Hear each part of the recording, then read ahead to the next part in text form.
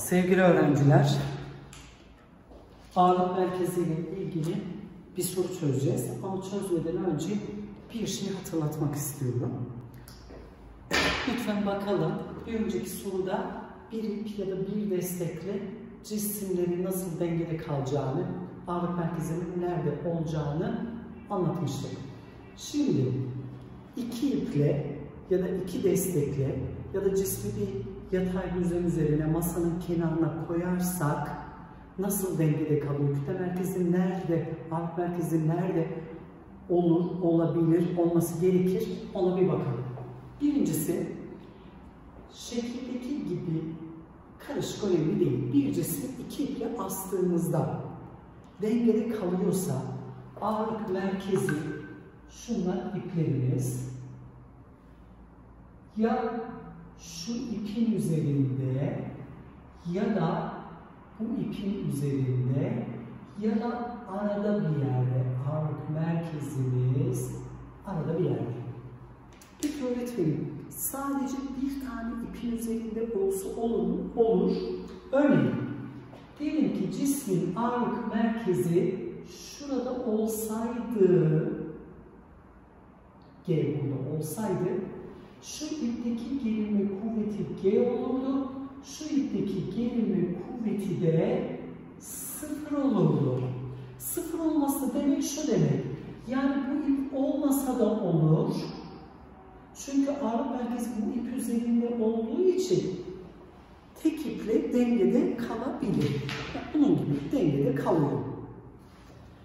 Ama ağırlık merkezi bu ip üzerinde değil arada bir yerde ise bu sefer T1 G'den daha az oluyor. Paylaşıyorlar ağırlığı. Bu sefer de T2 sıfır olmuyor. Bunları siliyorum. Ağırlık merkezi nerede olabilir? İşte şurada olabilir. Burada olabilir. Burada olabilir. Burada olabilir. Ama bu ipin dışında ya da bu ipin dışında bir yerde olmaz. Burada bir yerde olsaydı böyle dönerdi. Burada bir yerde olsaydı bu tarafa dönerdi. Öyleyse ağırlık merkezinin olacağı yer, kütle merkezinin olacağı yer iki çizgi arası ya da çizgilerden, iplerden birinin üzeri. Geldik iki destek.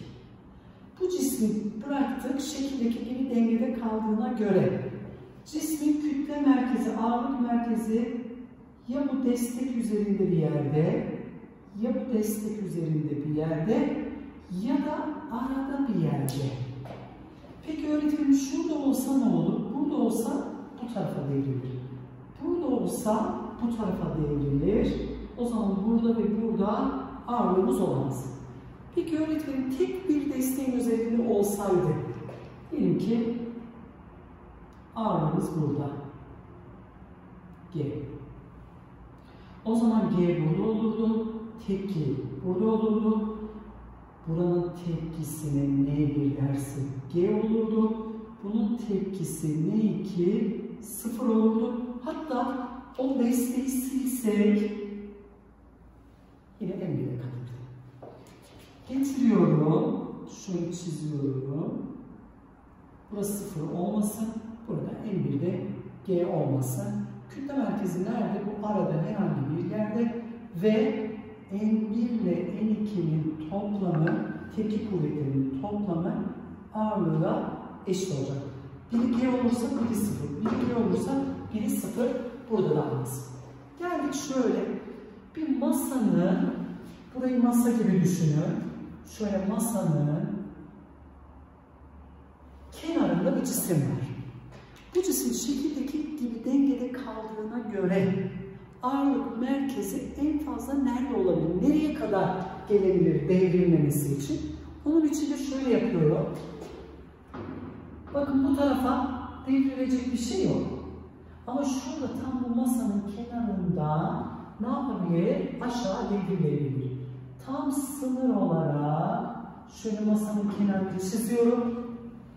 Eğer şurada bir yerde olsaydı kütle merkezi, ağırlık merkezi burada olsaydı böyle, tabi yapışık değil ama onu söyleyeyim, böyle devrilirdi. Devrilmemesi için ağırlık merkezi tam şurada olabilir. Tam sınırda. Ya da şunu çizginin sonunda bir yerde olacak.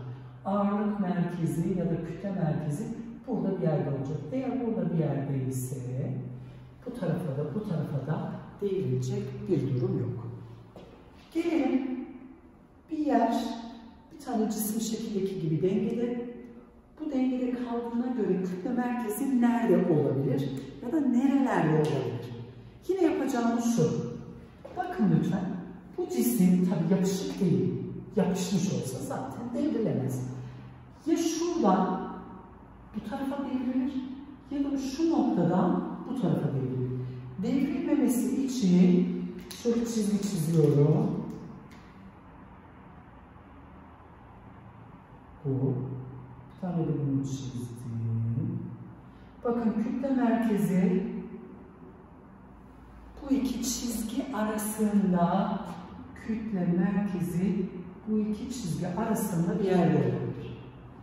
Peki tam şu çizginin üzerinde olsa olur mu? Olur.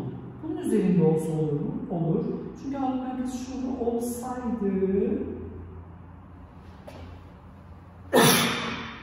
devrilmez.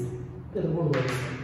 Peki şurada olsa ağırlık merkezi şu noktaya göre ne olur? Döner ve devrilir.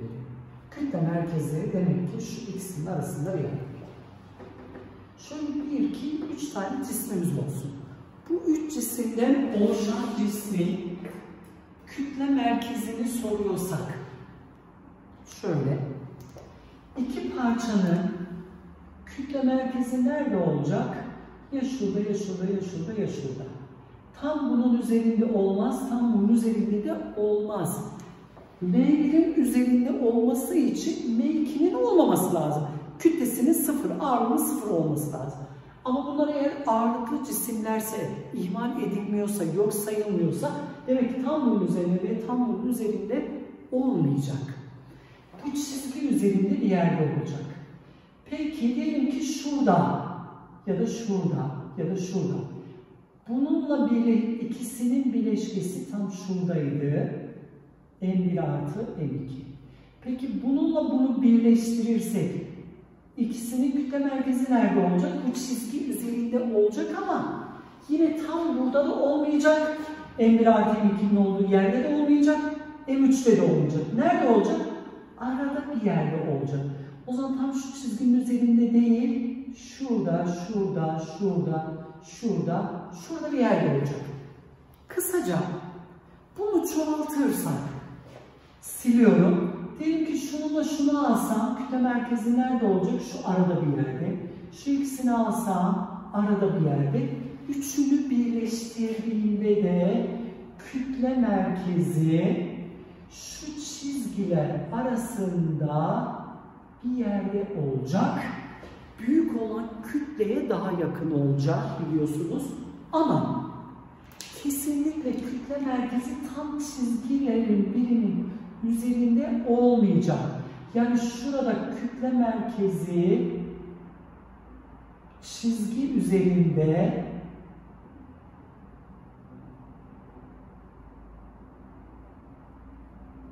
olamaz.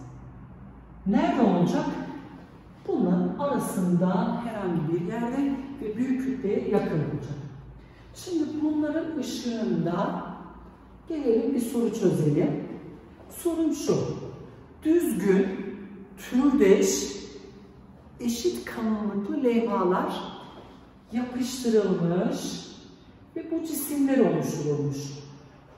Türdeş kare levhalar birleştirilmiş ve cisimler oluşmuş. Bu cisimlerden hangileri dengede kalabilir? Bakın burada yer üzerinde duruyor. Burada iki iple duruyor. Burada da yine yer üzerinde duruyor. Ya da destek üzerinde yapalım bunu da. Destek yapmamışız. Şöyle. Bir bu destek. Bir de bu destek. Ya da yer üzerinde. Aynı o da olur. Hangileri dengede kalabilir? Birincisi için bakıyorum. cismin bu sistemin dengede kalabilmesi için kütle merkezi ne olmalı çocuklar? Şunun üzerinde bir yerde olmalı. Eğer bu tarafta olursa buraya devrilir, şu taraflarda bir yerde olursa bu tarafa devrilir. Bunun için şöyle yapalım. 2, 2, 3, 3, 4, 4, 5, 5 levhaları birleştirip birleştirip birlikte çözümleyelim. Diyorum ki bakın şu iki levha kütle merkezi burada. Tam sınırda. Bu parçanın da kütle merkezi burada. Peki bununla bunun kütle merkezini alırsak, birleştirirsek nerede olacak? Arada bir yerde. Şurası 2M olsun, burası M olsun. Birleştirdiği bileşkesi şurada olacak. Aa. 3M. O zaman bu ne yapar? Böyle devrilir. Ne olmaz? Dengede kalmaz. Gelelim buna gelelim. İki tane ipimiz var. İple asmışız. Cismin dengesini bulmak istiyoruz. Ben diyorum ki şu parçayla şu parçanın kütle merkezi burada. Şu parçayla şu parçanın kütle merkezi 2M burada. Bu 2M ile 2M'nin bileşkesi de burada. Bu da ne oldu? 4 Aa, iki ip varken dengede kalabilmesi için ne olması lazımdı? Ya iplerden birinin üzerinde ya diğerinin üzerinde ya da arada bir yerde olmalıydı ki cisim ne yapmasın? Devrilmesi, dengede kalabilsin. Peki buraya bakarsak bunun dengede kalması için ne olması gerekiyordu? Kütle merkezi ya bu ip doğrultusunda ya bu doğrultuda ya da böyle arada bir yerde olmalıydı ama dışarıda olduğu için bu da ne yapmaz? Dengede kalmaz.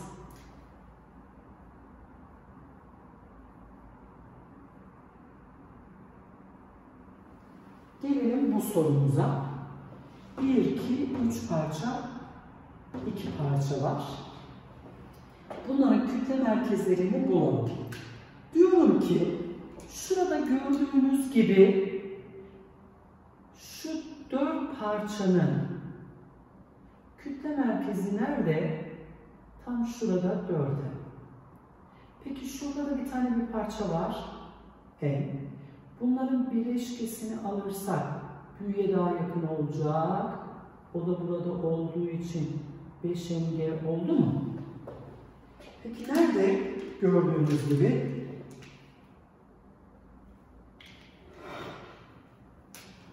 desteklerden biri, desteklerden biri iki çizginin arasında bir yerde kaldı kütle merkezi. Ne bu desteğin bu tarafında, solunda ne bu desteğin sağında. O zaman ne yapar? Üçüncü cismimiz dengede kalır.